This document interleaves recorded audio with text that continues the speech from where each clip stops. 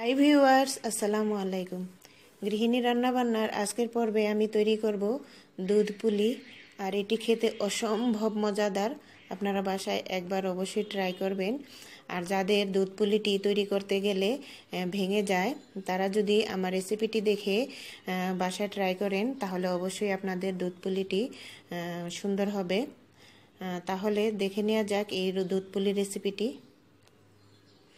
এখানে আমি দুই গ্লাস চালের গুঁড়ি নিয়েছি এবং যে গ্লাস দিয়ে আমি চালের গুঁড়ি নিব, সেই গ্লাসেরই এক গ্লাস পানি দিয়ে চালের গুঁড়োগুলো আমি সিদ্ধ করে নেব।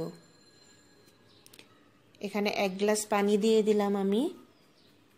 আপনারা যে গ্লাস অথবা যে কাপ দিয়ে চালের গুঁড়ি ব্যবহার করবেন, তার অর্ধেক পরিমাণ পানি নেবেন, তাহলেই পারফেক্ট হবে। এর মধ্যে দিয়ে দিলাম এক চা চামচ লবণ। স্বাদ মতো, আপনারা আপনাদের স্বাদ মতো দিয়ে নেবেন। পানিটা ফুটে উঠলে এখন আমি চালের গুঁড়ি দিয়ে সিদ্ধ করে নেব। এ পর্যায়ে চালের গুঁড়িগুলোকে আমি চামচ দিয়ে একটু ছড়িয়ে দেব এবং চুলার হিটটা একদম লো থাকবে। ছড়িয়ে দিয়ে ঢাকা দিয়ে ঢেকে দেব। দুই মিনিটের জন্য আমি কুক করে নেব। আমার চালের গুঁড়ি খুবই সামান্য দুই গ্লাস, এর জন্য আমি দুই মিনিটই কুক করব। তো আপনারা চাই আপনাদের চালের গুঁড়ি যদি বেশি হয়, সেক্ষেত্রে দুই মিনিটের বেশি তিন অথবা চার মিনিট কুক করে নিতে পারেন। এখন ঢাকাটি তুলে নিচ্ছি।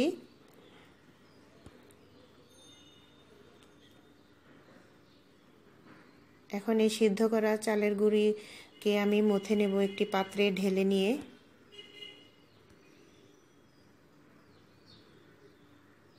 এটাকে গরম অবস্থাতেই মথে নিতে হবে। এবং এর মধ্যে যদি কোনো শক্ত চালের গুঁড়ি থাকে তাহলে সরিয়ে দিবেন। নয়তো বা কাইটা মসৃণ হবে না এবং পিঠাটাও সুন্দর হবে না। তো দেখুন খুবই গরম অবস্থায় একদম গরম নয়। তো গরম অবস্থায় এটাকে মথে নিতে হবে, শক্ত হয়ে গেলে মথা যাবে না।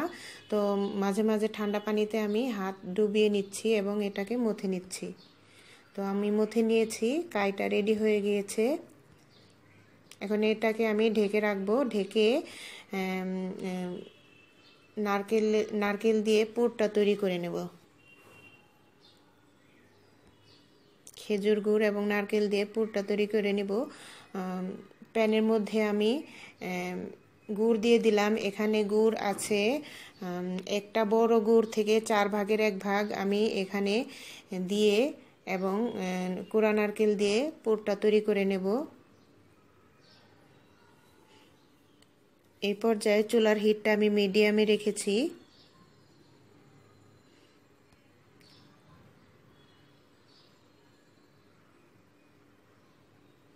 গুড়টা যখন গলে যাবে, ভালো করে, এবং চুলার হিটটা লোতেই থাকবে, তা না হলে গুড়গুলো পুড়ে যাবে।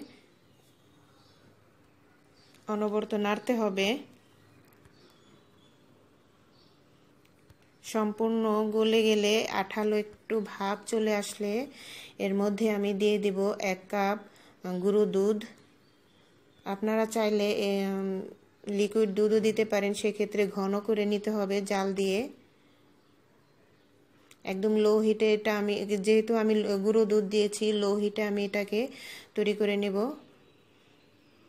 আমার পুরটা প্রায় রেডি হয়ে এসেছে।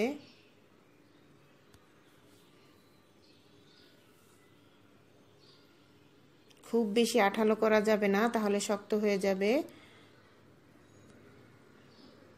এখানে আমি অর্ধেকটা, একটা নারকেলের অর্ধেকটা নারকেল কুড়া নিয়েছিলাম। এখন আমি পিঠাগুলো তৈরি করে নেব।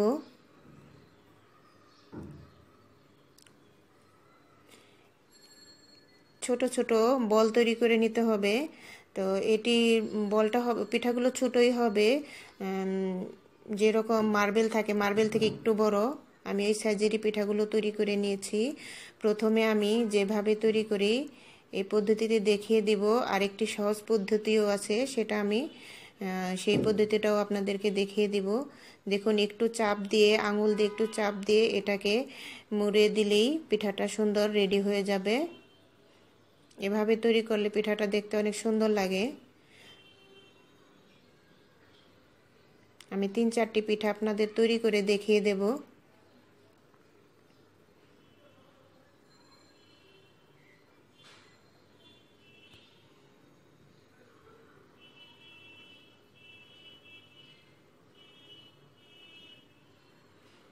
এভাবে মুখটাকে বন্ধ করে দিয়ে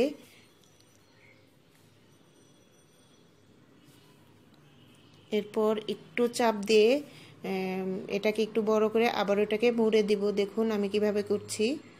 তাহলে আপনারা চেষ্টা করলে আপনারাও পারবেন। তবে সময় স্বল্পতার জন্য আরেকটা পদ্ধতি আছে, অথবা যাদের যাদের, যারা এভাবে না পারেন, তারা এভাবে তৈরি করে নিতে পারেন। সেই পদ্ধতিটা আপনাদের আমি এখন দেখিয়ে দিব। এটি খুব সহজ পদ্ধতি। অথবা আপনারা শেপার দিয়েও কেটে নিতে পারেন, তো সেক্ষেত্রে দেখতে সুন্দর লাগে না পিঠাটা।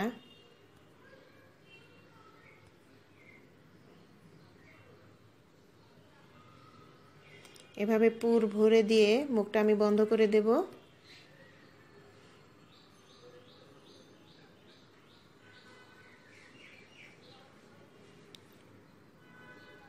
এখন একটি কাটা চামচের সাহায্যে দেখুন, এভাবে একটু যেতে দিলেই প্রেস করলেই ডিজাইনটা চলে আসবে। এভাবে করে নিতে পারেন, খুব সহজেই তৈরি হয়ে যায় পিঠাটি। তো আমি তৈরি করে নিয়েছি আমার সবগুলো পিঠা।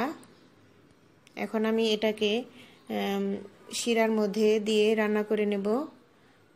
প্রথমে পাত্রে আমি তিন গ্লাস পরিমাণ পানি দিয়ে দিচ্ছি। শিরা তৈরি করার জন্য।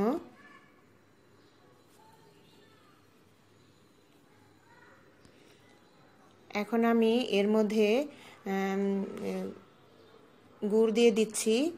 গুড়টা এখানে আপনারা খুবই ফলো রাখবেন। গুড়টা আমি এখানে একটা গুড়ের চার ভাগের এক ভাগ গুড় দিয়েছি। খুব যেন মিষ্টি না হয়ে যায় শিরাটা। কেন যে যে পুরটা তৈরি করেছিলাম আমি নারকেল দিয়ে, দুধ দিয়ে, সেটিও মিষ্টি। খুব বেশি মিষ্টি হলে কিন্তু খেতে ভালো লাগবে না পিঠাটা। তো যখনই কি ফুটে উঠবে শিরাটা, তখন আমি পিঠাগুলো ছেড়ে দেব। দেখুন। সবগুলো পিঠা দিয়ে দেব এবং এ পর্যায়ে আমি কিন্তু কোনো চামচ দিয়ে নেড়ে দেব না, তাহলে পিঠাটা ভেঙে যাবে। একটু ঝেঁকে ঝেঁকে দিতে হবে যেন একটা সাথে আরেকটা লেগে না যায়।